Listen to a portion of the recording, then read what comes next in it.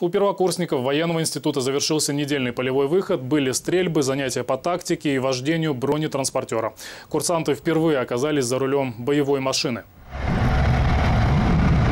Будущие командиры мотострелковых и артиллерийских подразделений стреляли также из автомата и на практике осваивали управление огнем. В течение недели у нас проходили занятия по тактической подготовке, по огневой подготовке.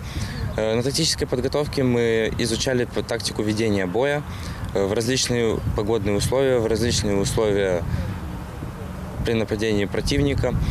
Э, На огневой подготовке мы готовились к стрельбам, изучали правильность э, ведения огня, э, прицеливания.